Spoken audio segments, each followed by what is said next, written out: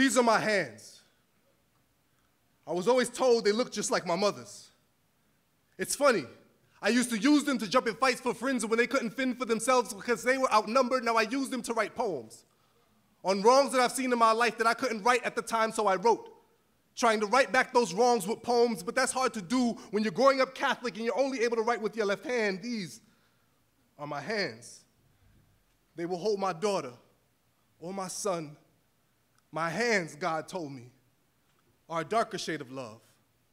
So when the officer asked to see them, I thought it was to show him proof that I was unarmed. Yet he was standing there, staring at my hands as if horror films were playing in my palms.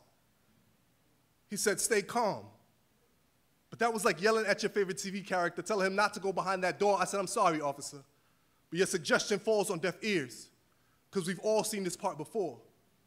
My hands are more than a symbol of my surrender. They are, they are proof that God still trusts me to give direction. They are evidence that someone is expecting me to turn a key to a door. Someone is expecting me home. My hands are nowhere near as scary as the movie that is playing in the barrel of your gun, starring a cast of black souls whose careers have been cut short.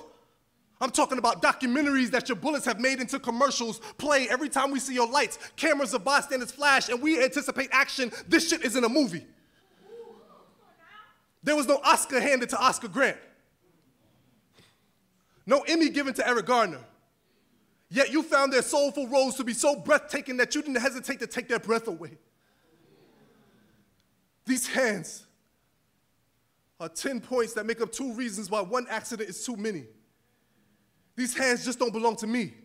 They belong to each one of my niggas I dapped up and I told them I'll be back, son. They don't belong behind my back, sir.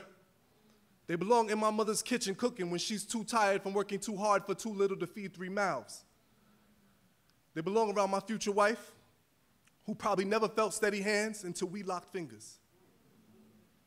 So, officer, if you're asking to see my hands, I hope it's to show you proof that I am human too. I'm going to turn around now and walk away. Please don't. Thank y'all so much.